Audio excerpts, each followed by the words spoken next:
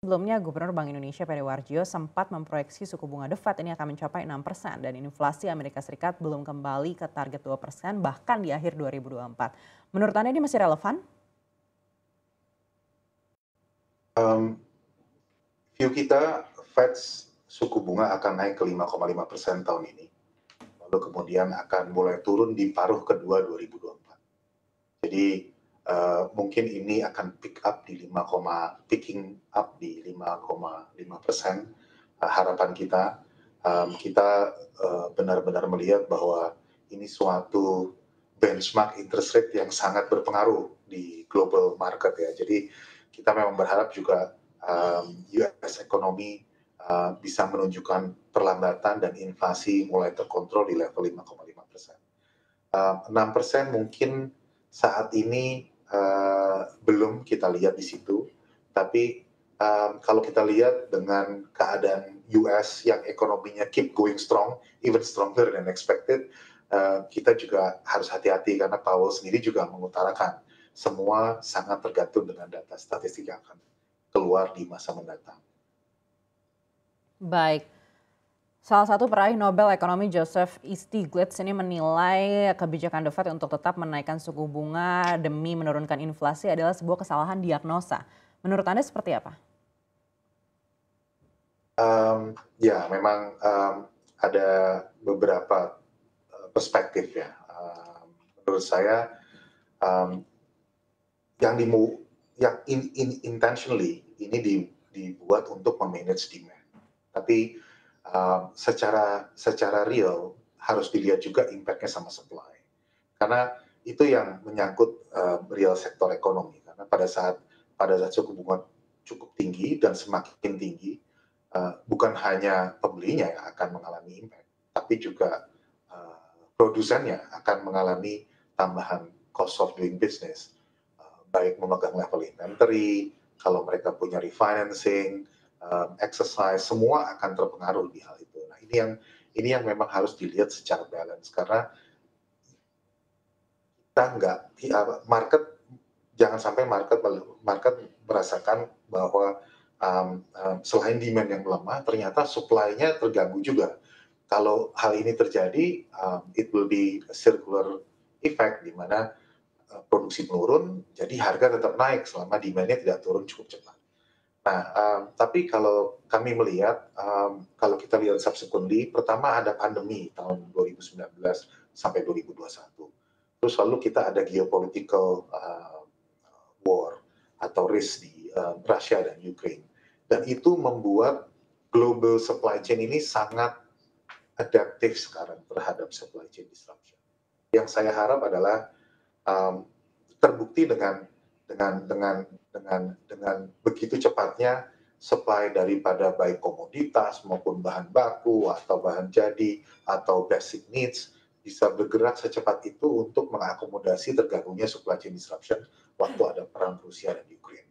Jadi saya lihat di sini memang pasti ada impactnya dan itu mungkin uh, salah satu faktor yang perbankan akan lihat di klien-klien kami bagaimana mereka bisa manuver perubahan-perubahan yang sangat cepat terjadi di sisi supply.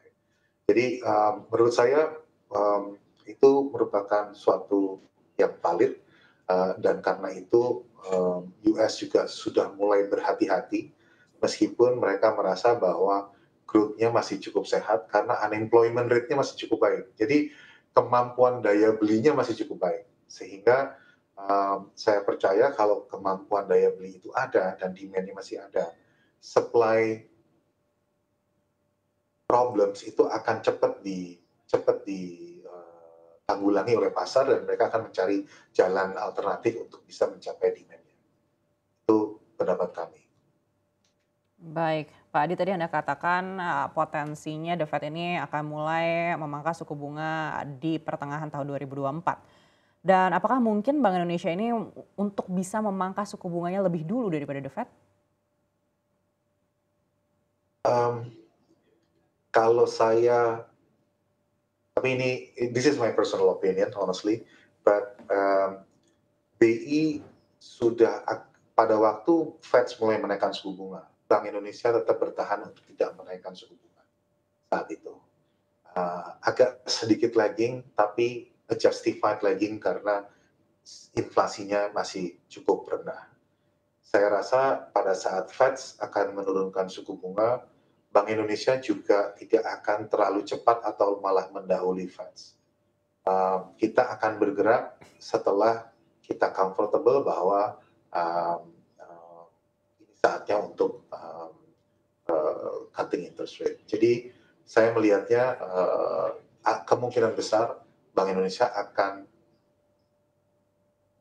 menunggu untuk Fed cuts dulu baru kita cut interest rate. Kenapa? Karena um, Bank Indonesia juga seperti saya bilang um, seiring dengan penurunan harga komoditas, ekspor kita uh, turun meskipun impor kita juga turun, tapi surplus daripada trade balance kita ini mulai menipis kalau diamati. Jadi Bank Indonesia akan sangat hati-hati untuk bisa memaintain uh, investor flows dari luar atau appetite untuk bisa masuk dengan menciptakan kestabilan yield daripada rupiah, terutama di jangka pendek atau to lima tahun.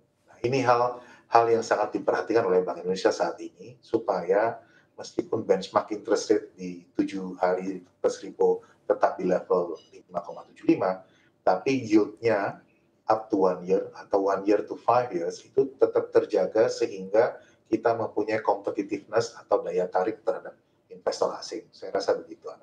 Baik, Lalu bila Bank Indonesia tetap mempertahankan suku bunganya dan The Fed ini masih ada potensi untuk menaikkan satu kali lagi bahkan higher for longer baru menurunkan di 2024. Seperti apa efeknya untuk rupiah? Kita lihat hari ini rupiah sudah mencapai 15.450-an. Um, memang saya lihat seperti saya utarakan sebelumnya bahwa pelemahan rupiah itu tidak terjadi uniquely untuk rupiah. Kalau kita lihat di negara-negara lain pelemahannya terus terjadi. Ya. Um, dollar yen uh, sangat terlihat sekali um, udah sempat level 147 kita merasa nggak mungkin naik lagi yen it's only can only be strengthening against dollar tapi sekarang udah di level 149 jadi saya lihat um, sebenarnya ini kalau di market kita sebut dollar exceptionalism di mana karena nilai uh, karena suku bunga yang tinggi Um, dan ekonomi yang growth uh, masih cukup baik, unemployment-nya rendah, sehingga currency-nya menguat. Dan ini merupakan sesuatu yang globally terjadi terhadap semua mata uang. Bahkan terhadap mata uang negara maju lain seperti euro atau sterling. Gitu ya. Jadi kita ngelihat um, rupiah pasti berdampak, tapi saat ini kita lihat uh, BI akan menjaga volatilitas pelemahan rupiah ini supaya tidak terlalu cepat. Kedua, uh, kita lihat dibandingkan Asian currencies yang lain, rupiah itu performnya masih relatively quite well menurut saya. Jadi pelemahannya selama tahun ini belum mencapai nilai uh, paling tinggi dolar rupiah di uh, tahun ini. Jadi uh, ini masih sangat terjaga sekali karena kebetulan secara fundamental uh, ekonomi kita dan trade balance kita dan policy-policy yang diterbitkan oleh Bapak Ibu secara sinergi dari BI dan baik fiskal dan moneter saya rasa cukup berhasil ya. Dan kita harus tetap memper, menjaga kehati-hatian ini ke depan untuk mencermati apa yang terjadi di US. Baik, Bank Indonesia memastikan masih akan ada pelonggaran makroprudensial termasuk juga insentif GWM dan juga penerbitan SRBI. Menurut Anda efektivitasnya seperti apa? Um, Oke, kalau kita lihat dari sisi perbankan itu efektif sekali. Karena um, sudah lama Bank Indonesia tidak mempunyai instrumen yang bisa uh, pertama qualified sebagai high quality liquid asset, so membantu rasio uh, liquidity kami sebagai perbankan dengan adanya kenaikan suku bunga yang seperti ini sangat penting untuk memastikan bahwa as and when we need credit to grow, kita punya liquidity. Dan dengan adanya SRB ini, kita bisa mempunyai secondary market yang jauh lebih liquid untuk instrumen yang risk free. Ya. Itu pertama. Kedua, um, saya rasa ini juga merupakan um, sangat efektif karena um, bisa menjadi underlying buat uh, hedging dan underlying buat pembelian rupiah untuk investor asing. Ini benar-benar membuka suatu kesempatan untuk investor yang tertarik untuk masuk ke rupiah, untuk masuk dengan instrumen yang relatively liquid, uh, disupport oleh Indonesian banking uh, market, dan mereka bisa comfortable untuk mulai masuk memasukkan dolarnya dan mengkonvert dolarnya ke rupiah untuk bisa beli uh, SRBI. Jadi saya lihat um, langkah-langkah BI ini cukup efektif. Uh, um, apakah ini harus dipertahankan uh, terus atau ini hanya saat ini merupakan suatu measure yang akan dilihat dalam enam bulan ke depan itu yang akan kita tunggu uh, polisi selanjutnya dari BI. Karena saat ini sangat penting untuk Bank Indonesia bisa men-set bersama dengan pasar kira-kira ekspektasi uh, imbal atau yield daripada return di Indonesia untuk jangka pendek itu ada di berapa. Baik, khusus untuk SRB ini menarik kalau berdasarkan dialog kami dengan eh, bank-bank lainnya sebelumnya ada kekhawatiran mungkin instrumen ini akan menguras likuiditas di perbankan. Tapi ternyata sebenarnya SRB ini juga bisa disimpan sebagai aset treasury. Anda melihat seperti apa? Um, Oke, okay. kalau saya lihatnya ini lebih realokasi. Jadi kalau sebelumnya kita punya uh, reverse repo BI sebagai instrumen kita untuk bisa beli ke BI. Sekarang kita punya alternatif uh, eh, SRBI.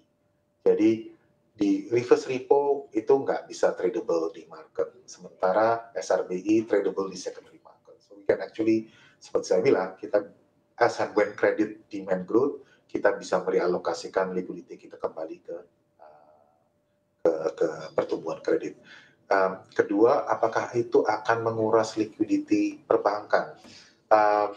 Saya nggak merasa begitu ya, karena itu lebih portfolio composition daripada treasury sendiri. Um, saya di sini melihatnya uh, pertama adalah SRBI itu bukan suatu instrumen yang bisa diperdagangkan secara retail. Jadi SRBI itu lebih untuk wholesale, sehingga impact-nya lebih banyak dilakukan kalau di pasar domestik adalah untuk perbankan dalam memanage liquidity dan uh, high quality liquid asetnya. Jadi menurut saya um, cukup cukup um, saya rasa kalau menguras likuiditas bank enggak karena deposito retail uh, tetap akan ada di situ. Um, tapi mungkin mem memberikan guidelines kira-kira di level berapa harga liquidity itu harus terjadi sehingga efek transmisi daripada kenaikan suku bunga itu lebih efektif terjadi di pasar ya kan. Karena selama ini um, meskipun suku bunganya dinaikkan deposito rate tetap rendah jadi ada semacam uh, pertanyaan kenapa kenaikan suku bunga di BI transmisinya belum begitu efektif. Dengan SRBI ini ini akan jadi, jadi jauh lebih efektif. Karena apa?